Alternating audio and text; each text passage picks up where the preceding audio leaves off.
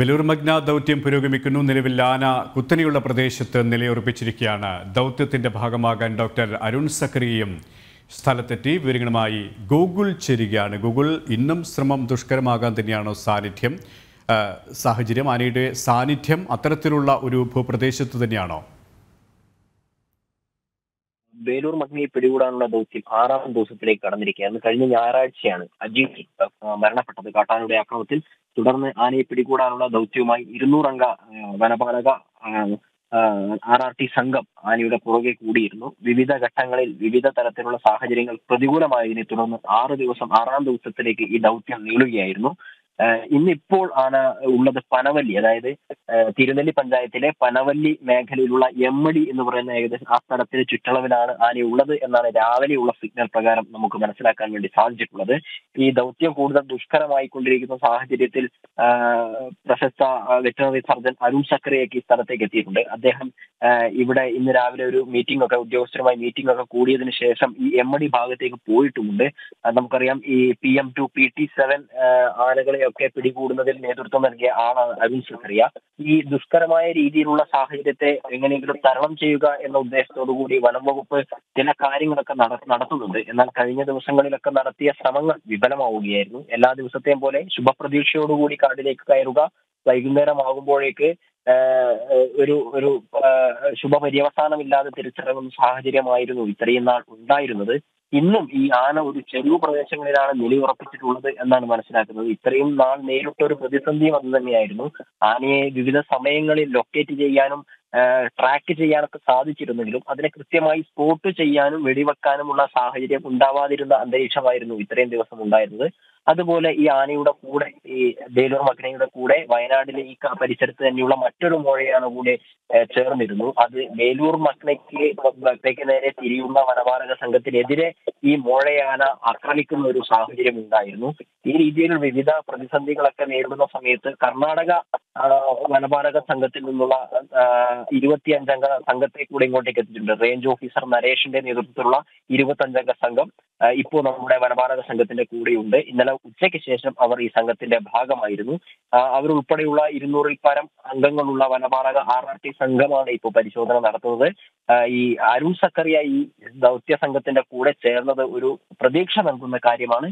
എന്നിരുന്നാലും ഈ ചെരിവ് പ്രദേശങ്ങളിൽ ആന നിലയുറപ്പിച്ചത് മൂലമുള്ള പ്രതിസന്ധികളെ എങ്ങനെ തരണം ചെയ്യുമെന്നുള്ളതും അതോടൊപ്പം ഈ ആനയുടെ കൂടെയുള്ള മറ്റു മുഴയാനെ തുരത്താനുള്ള നടപടി എങ്ങനെ സ്വീകരിക്കാം എന്നതുമുള്ള രണ്ട് പ്രശ്നങ്ങളാണ് ഇപ്പൊ ദൗത്യ സംഘത്തെ അലട്ടുന്നത്.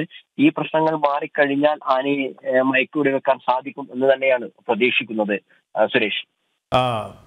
ഗൂഗിൾ ഒപ്പം ഈ ഓരോ ദിവസം കഴിയും തോറും ഈ ശ്രമം ദുഷ്കരമാവുകയാണ്. അതേസമയം തന്നെയാണ് ഈ ജനങ്ങളെ സംബന്ധിച്ചിടത്തോളം പ്രദേശവാസികളെ സംബന്ധിച്ചിടത്തോളം ആശങ്ക വർദ്ധിക്കുകയും ചെയ്യുന്നത്. ആളെക്കൊല്ലി ആനയാണ്. ഇത് സമയത്തും ഇത് ആക്രമണം നടത്താം. അത്തരത്തിലുള്ള ഒരു ഭീതിയിലാണ്. അതുകൊണ്ട് തന്നെ എത്രയും പെട്ടെന്ന് തന്നെ ഇതിനെ മയക്കുവെടി വെക്കുക സുരക്ഷിതമായ മറ്റൊരു സ്ഥലത്തേക്ക് മാറ്റുക എന്നത് ദൗത്യ ദൗത്യ സംഘത്തെ സംബന്ധിച്ചിടത്തോളം അത് വനവകുപ്പിനെ സംബന്ധിച്ചിടത്തോളം അത്രത്തോളം വലിയൊരു വിഷയം കൂടിയാണ്. അതുകൊണ്ട് തന്നെ ഇനിയുള്ള ഓരോ നിമിഷങ്ങളും അത്രത്തോളം വിലപ്പെട്ടതാണല്ലേ?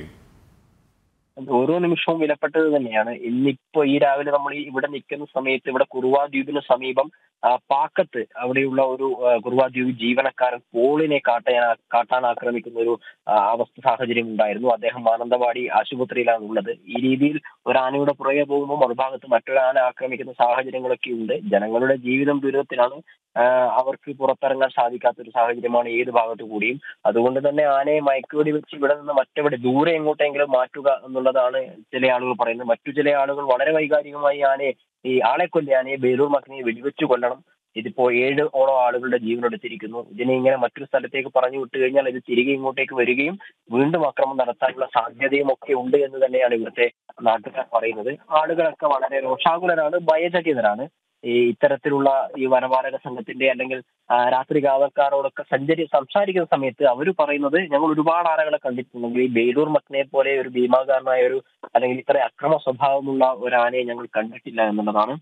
ഈ രീതിയിൽ ആനയുമായി ബന്ധപ്പെട്ട് ഇവിടുത്തെ ജനങ്ങളുടെ ജീവിതം രാത്രിയെന്നോ പകലെന്നോ ഇല്ലാതെ സമാനമായ രീതിയിൽ ദുഷ്കരമാക്കിക്കൊണ്ടിരിക്കുന്നു. സാധാരണ രീതിയിലുള്ള ജീവിതം ഇവർക്ക് നഷ്ടപ്പെട്ടിട്ട് ഏകദേശം ഒരാഴ്ചയോളമായിരിക്കുന്നു. ഇതിനെ എങ്ങനെയും പിടികൂടുക എന്നുള്ളത് തന്നെയാണ് സർക്കാരിന്റെ അല്ലെങ്കിൽ വനംവകുപ്പിന്റെ മുമ്പിലുള്ള ഏക മാർഗം. അതല്ലാതെ മറ്റൊരു പരിഹാര മാർഗമില്ല. ഇതിനെ കർണാടക ഫോറസ്റ്റിലേക്ക് തുരത്താം എന്ന ആലോചന ഒന്നും കർണാടക വനപാലക സംഘം അംഗീകരിക്കാൻ സാധ്യതയില്ല. ഇവർക്കും അങ്ങനെ ഉദ്ദേശമില്ല. കാരണം തുരത്തിക്കഴിഞ്ഞാൽ കഴിഞ്ഞാൽ ജനങ്ങളുടെ ഭാഗത്തു നിന്ന് പ്രതികരണം പ്രതികൂലമാവുകയുള്ളൂ. കാരണം ഈ പറഞ്ഞതുപോലെ ആന തിരികെ വരും എന്ന രീതിയിലുള്ള അഭിപ്രായങ്ങളൊക്കെയാണ് അവർ പങ്കുവെക്കുന്നത്.